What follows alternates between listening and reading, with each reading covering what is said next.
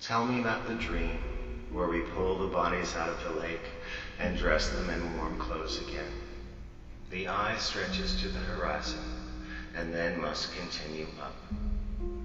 Anything past the horizon is invisible. It can only be imagined.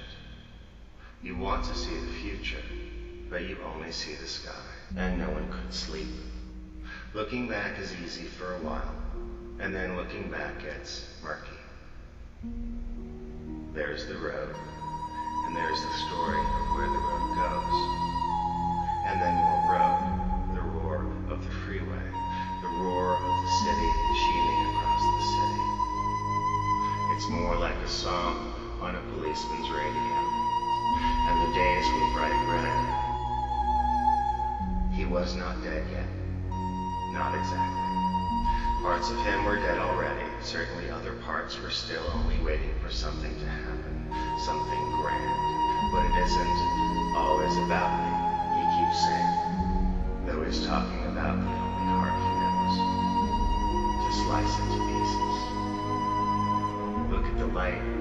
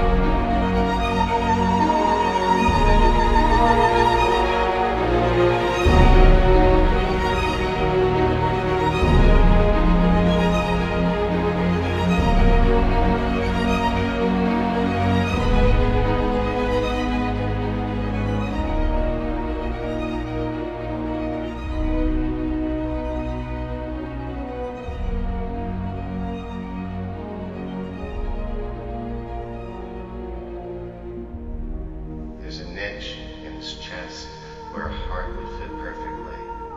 And he thinks if he could just maneuver one into place, well then, game over. You wonder what he's thinking when he shivers like that.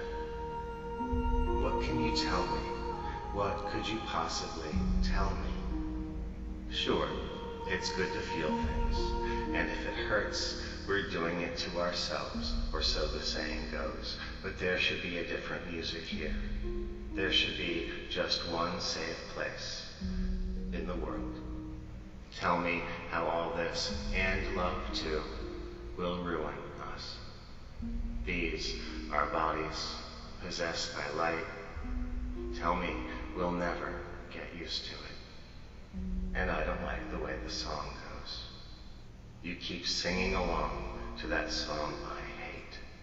Stop singing.